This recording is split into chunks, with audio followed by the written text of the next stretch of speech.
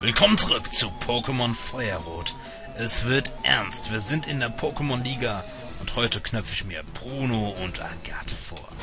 Zuerst schaue ich mir das Team an. Benny. Also Caleb hat mit Benny begonnen, was natürlich gut ist, denn Lorelei hat auch einige Wasser-Pokémon. Ich schaue mir die Attacken an. Donnerblitz, Bohrschnabel, Agilität brauchen wir nicht wirklich, aber okay. So. Was machen wir jetzt? Okay, Klurak hat einiges an Kraft verloren. Das äh, ist logisch, denn Rosanna ist auch dabei, ist auch am Start. Und da hat er sicherlich Glurak eingesetzt, aber die kann auch Eisstrahl und so erkläre ich mir das. Buhu wurde auch eingesetzt, okay. Ich werde jetzt Terminator einsetzen. Mit dem Erdbeben können wir das Onyx von Bruno besiegen.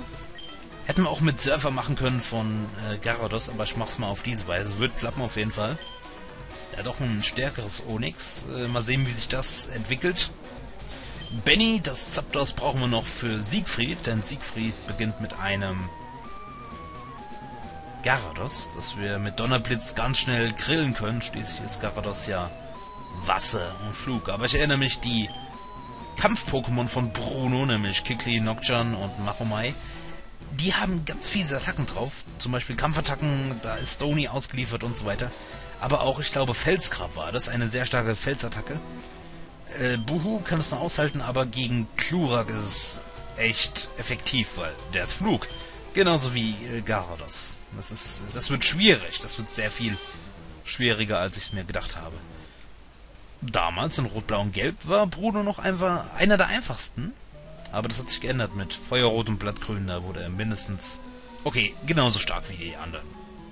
Legen wir los. Ich gehöre zu den Top 4. Mein Name ist Bruno. Durch ausgiebiges Training können Pokémon sehr stark werden. Ich habe meine Pokémon pausenlos trainiert. Sekonas. Wir werden dich mit unserer Kraft bezwingen. Zum Angriff. Nein, lieber Bruno. Nichts und niemand kann Sekonas aufhalten. Glaub mir. Okay. Wir legen los. Onyx, ich wähle dich. Rizeros. Terminator. Terminator. Wie auch immer. Erdbeben. Vielleicht habe ich noch ein bisschen Glück mit dem Hornbohrer. Ich hatte ja immer Glück mit dem Hornbohrer. In der Siegesstraße in meinem letzten Part. Und da haben wir auch Onyx schon wieder äh, kaputt gemacht. Wie erwartet. Der war Level 51 und du bist Level 54, aber dennoch denke ich, dass wir auch dich mit Erdbeben platt kriegen, denn Boden auf Boden ist effektiv. Wie man hier sehen kann. Schön, gleich mal zwei oder drei Pokémon aus dem Weg geräumt. Aber jetzt beginnt es erstmal so richtig. Nocturne. Äh, wie gesagt, er hat hocheffektive Attacken drauf. Äh, damit sollte ich nicht spaßen und deswegen setze ich mal Hornbohrer ein. Bitte. Oh, es klappt sogar. Wir haben ihn. Es waren in der Siegelstraße sogar Nocturne und Kikli, oder? Vor allen Dingen ich werde meine beiden Top 4 Mitglieder sehr leicht besiegen.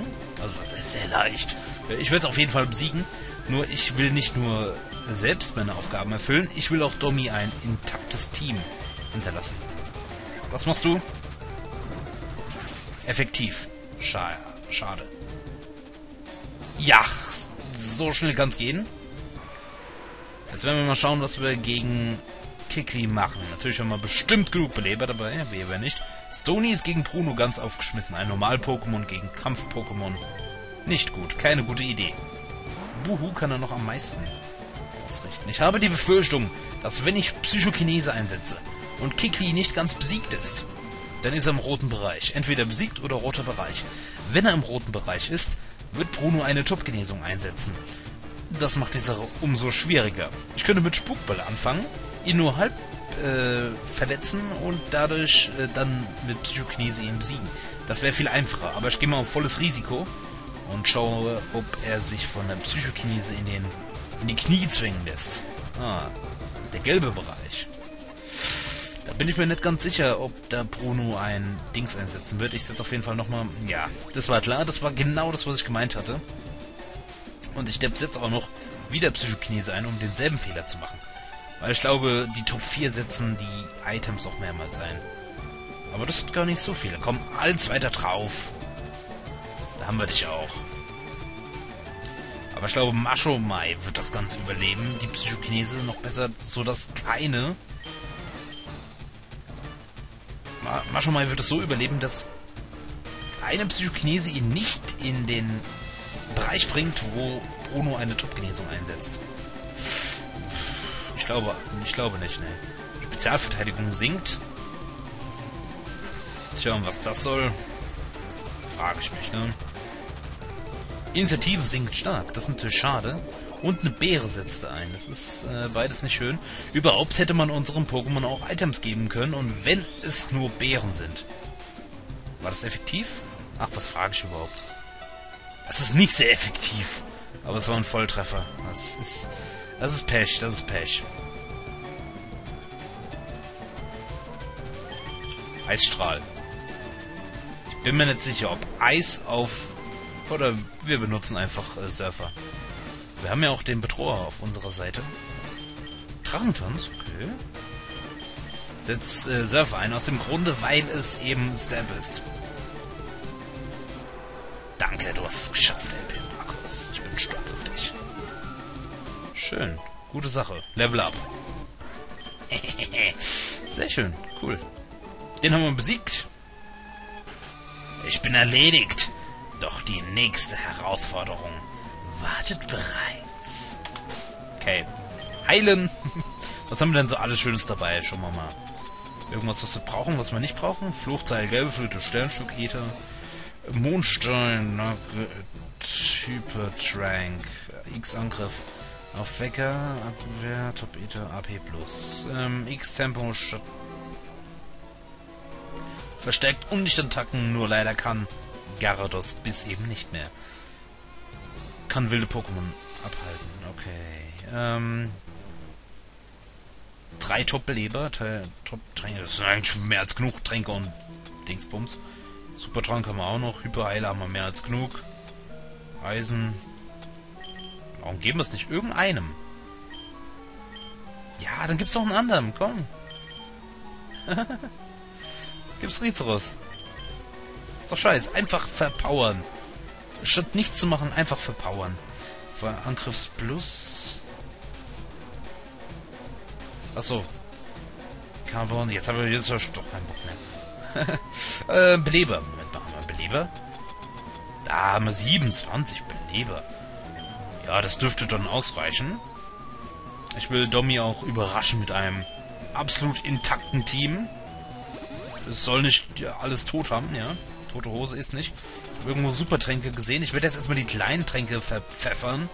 Superschutz, nee. Supertrank, zwei Supertränke. Wie viel bringen die? 50? Moment.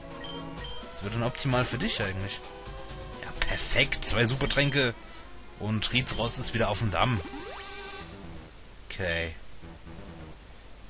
Und ich habe noch was Einzelnes gesehen. Moment. Ein Hypertrank.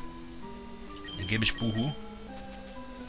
Klurak nicht. Äh, machen wir dann nach Agathe. Übrigens, Agathe oder Agatha?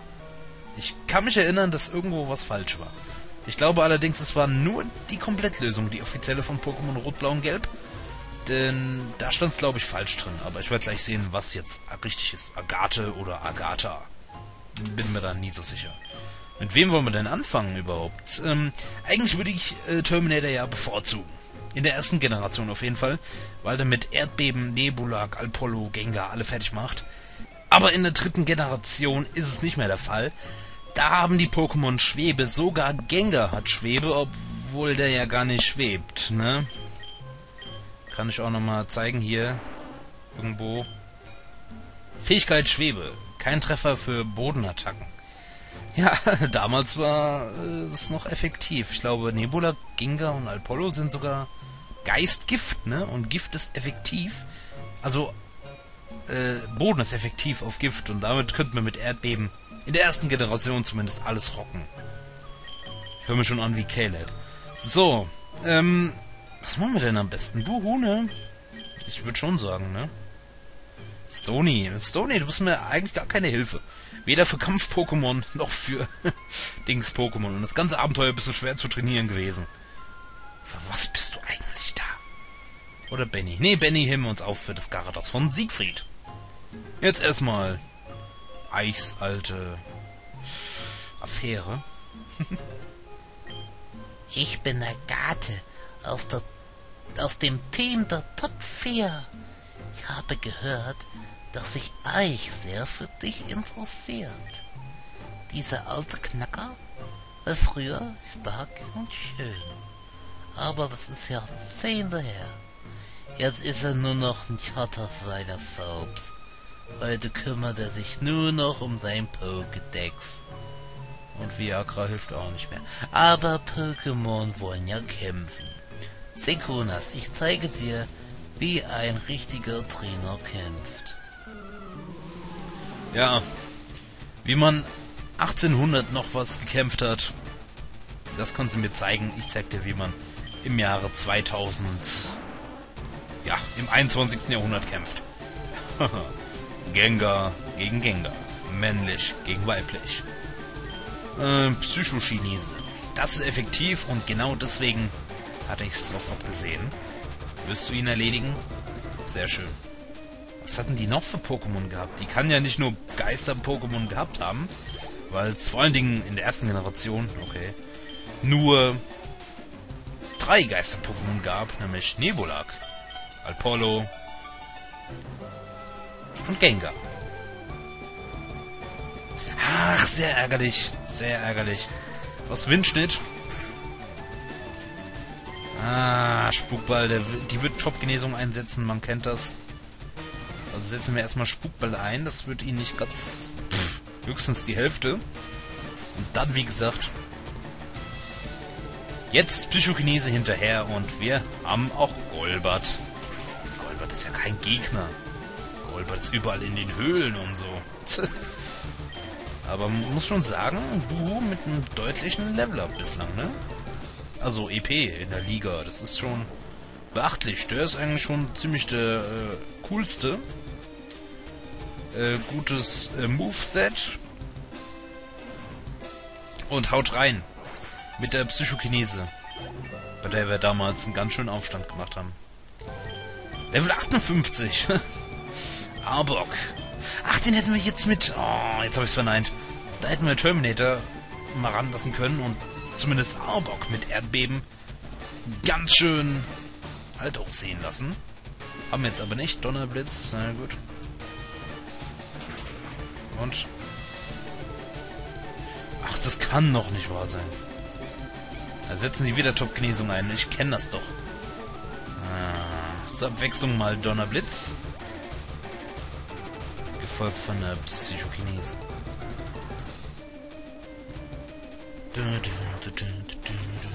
Also die Pokémon-Liga wird kein Problem. Ich werde auch... Ihr seht schon, ich äh, kann auch Pokémon spielen, ja. Ihr seht schon, ich ähm, kann auch ein bisschen was. Wenn ich mich anstrenge. Wurde ja oft kritisiert, du denkst nicht nach, du bist so dumm, du kannst es nicht. Ich habe vielleicht nicht immer Lust, hier alles pixelgenau zu nehmen. Äh, jetzt ist die Schwierigkeit, dass wir keine Psychokinese mehr haben. keine AP, das ist aber schön. Welche Alternativen haben wir denn? Stony fällt raus. Ging, äh, Zapdos fällt raus. Du kannst... Du kannst Stein. Geht Steinhagel? Geht Stein auf Geist? Geht das? Ich weiß es nicht. Wahrscheinlich schon, aber ich gehe einfach jetzt mal davon aus, dass es nicht geht. Ja, so oder so sollten wir Psychokinese wieder Dings geben. Also, 10 Punkte. Also ein Ether für Psychokinese. Jetzt musst du... Ja, das solltest du doch äh, schaffen, oder? Hey, der gleiche Level fällt mir gerade auf. Oh, das ist sehr effektiv. Oh, oh, schön. Wollen wir es probieren? Mit Steinhagel. Wir sind leveltechnisch unterlegen. Ich weiß jetzt wirklich nicht, ob Steinhagel effektiv war oder nicht. Auf jeden Fall trifft es.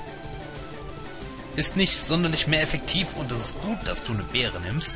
Weil wenn du jetzt keine Beere genommen hättest, ich hätte schwören können, das wäre eine Top-Genesung gewesen. Aber so nicht. Ähm, damit bist du down. Und wir haben Agathe besiegt. Agathe, die auch wirklich Agathe heißt und nicht Agatha. Das habe ich irgendwo anders aufgeschnappt. Level up für dich, ich bin stolz auf dich. Schön. Wirklich, du bist ein ganz besonderes Kind. Irgendwie hat sich Winkly Kong eine andere Stimme gegeben. Dann machen wir jetzt die Winkly Kong Stimme. Du hast gewonnen. Nun verstehe ich, was der Professor meinte. Ich stimme ihm voll und ganz zu. Setze deinen Weg fort. So, Moment, erstmal Heilaktion. Ja, das wäre es auch von mir gewesen. Soweit, die Zeit ist rum und pff, ja. Wir haben nur einen, der down ist. Haben wir denn? Wir haben ja Top-Beleber. Dann machen wir nicht lang rum. Ein Top-Beleber verbrate ich für Buhu. Der war mir ja in diesem Part, in diesen zwei äh, satten Kämpfen, eine große Hilfe. Haben wir denn noch... Ne, andere Tränke haben wir nicht mehr. Ja, wir haben immer noch alle 20 Top-Genesungen, also was...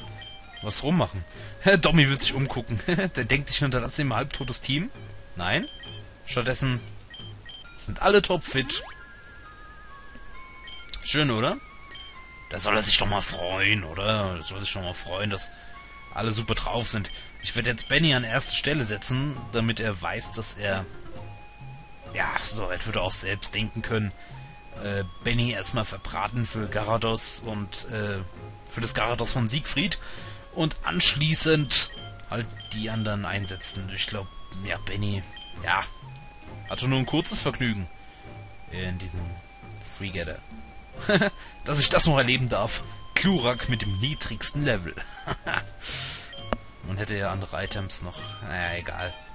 Es klappt ja alles wunderbar. Soll ich mal umstellen? Soll ich mal einen Rahmen umstellen? Mal sehen, ob die was merken. Ich, ne, das Retro merkt er auf jeden Fall. Ich muss mir irgendwas einfallen lassen. Ich hätte auch mit toten Pokémon. Ja, sie Rahmen. Sollen wir das mal machen, Leute? Ach komm, machen wir das und mal sehen, vielleicht, vielleicht merkt das und vielleicht nicht. Einfach nur zum... Können wir schon durchgehen? Wir können ja durchgehen, oder? Ja. Okay, schön. Diesen Weg geht Sekonas automatisch. Damit habe ich nichts zu tun. Da hieß es damals immer, oh, da liegen die fetten Items. Leute, da liegt gar nichts. Das ist einfach nur zu Showzwecken.